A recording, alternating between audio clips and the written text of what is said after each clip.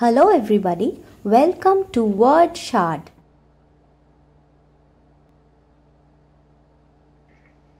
Today we are going to do the questions on the last two stanzas of the Bangle Sellers. We have already done the the questions, the important questions from the first two parts, isn't it? In the last class we have already done, solved all the important questions from the first two stanzas of the poem. So today's class we will be solving the important questions from stanza 3 and stanza 4. Let's read the stanza 3 first. Some are like the fields of sunlit corn, meet for a bride on her bridal morn. Some like the flame of a marriage fire, or rich with the hue of her heart's desire, tinkling, luminous, tender and clear, like her bridal laughter and bridal tear. This is the part. This is stanza 3. Questions from stanza 3. What do you have? What is being compared to the fields of sunlit corn? Let us come to the stanza once more. Sunlit corn, the fields of sunlit corn, these are yellow in color and when it is sunlit, already corn fields are yellow in color. And under the bright rays of the sun it appears bright yellow even more bright isn't it? Even brighter. So the bright yellow colored bangles are compared to the fields of the sunlit corn. These bright yellow colored bangles are suitable for the women to wear in on their wedding day in the morning of their wedding. So the fields of corn the second part why? Why are they being compared to the fields of sunlit corn now we have to explain. The first part had only one mark so there you did not have to explain. Here you will have to explain the full thing. The fields of corn are yellow in color and on a, whatever i said just now the same thing. On a bright sunny day the corn fields glow with a bright yellow color. They become even brighter isn't it under the rays of the sun? So bangles of this color are suitable for a bride on her bridal morning. The complete answer. Next we'll move to question number 2 what is question number 2 what is the meaning of bridal laughter and bridal tear? This is a very very important question for everybody okay? Even for class 9 as well as 10 this is very important. I have already told you while explaining the chapter this part is important. What is it? Bridal laughter. See when a when a girl gets married she gets a new family for herself isn't it? There are his uh, her new set of parents there is her husband and she desires love from them and she will get love from them.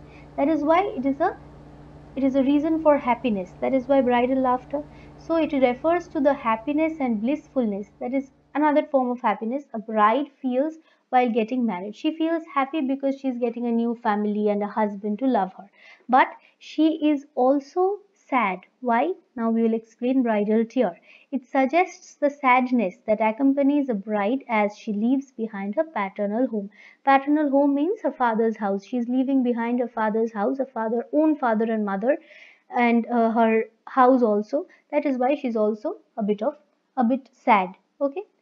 Next, we'll move to question number three. Which figure of speech? Another important question. Figure of speech is used in the line some like the flame of a marriage fire or rich with the hue of her heart's desire.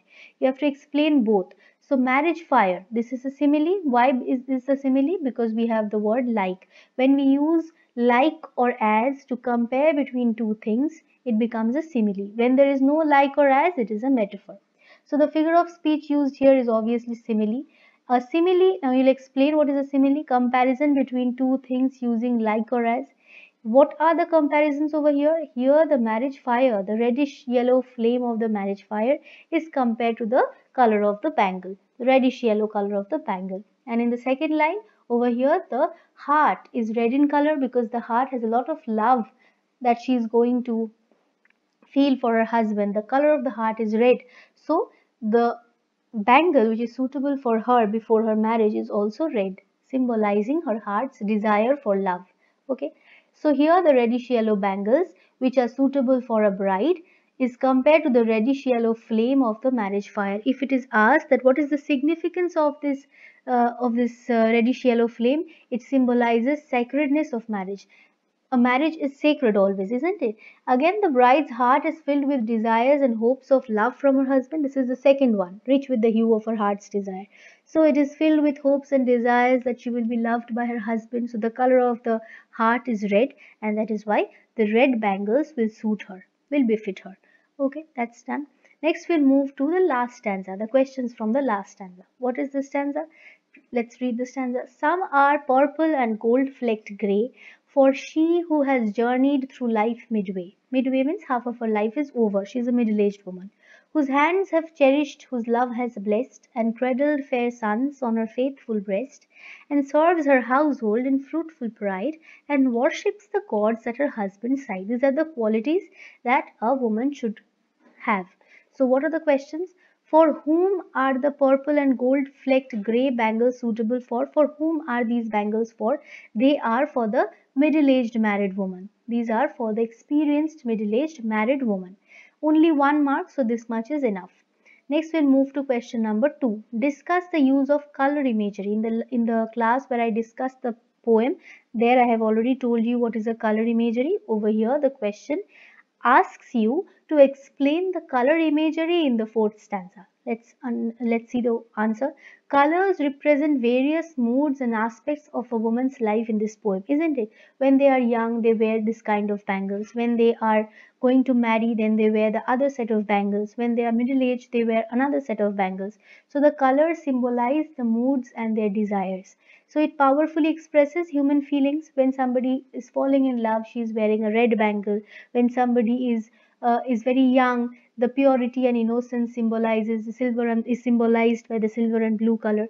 Accordingly, in the last stanza, the purple colored with gold bangles with gold flecked grey are visual and very symbolic. This grey color identifies maturity and experience that comes with age. So that is the answer. Next, we'll move to the last question. Explain the following lines. We have to explain these lines. Whose hands have cherished, whose love has blessed. This is the qualities of a very good uh, mother or a good wife. Okay, so the purple and gold flecked grey bangles is a suitable for the middle-aged woman. Now we will talk about her qualities.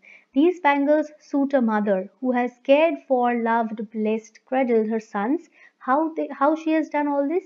Very responsibly and very faithfully. She has faithfully taken care of her sons, of her family and these are her qualities that she must possess. So that is all. For, these are the most important questions from all the four stanzas we have already discussed. If you have any other problem or any other question which you do not know answer to, you can surely ask in the comment box. Please, uh, if you have liked my video, please like and subscribe. Thank you so much children.